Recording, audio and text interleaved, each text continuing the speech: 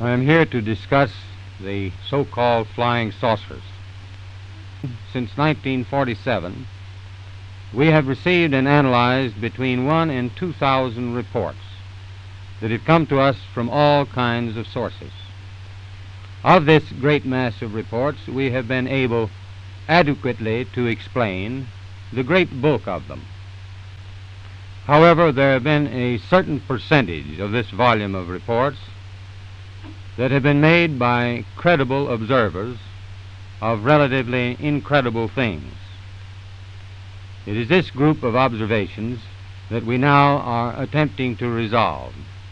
We can say that the recent sightings are in no way connected with any secret development by any agency of the United States.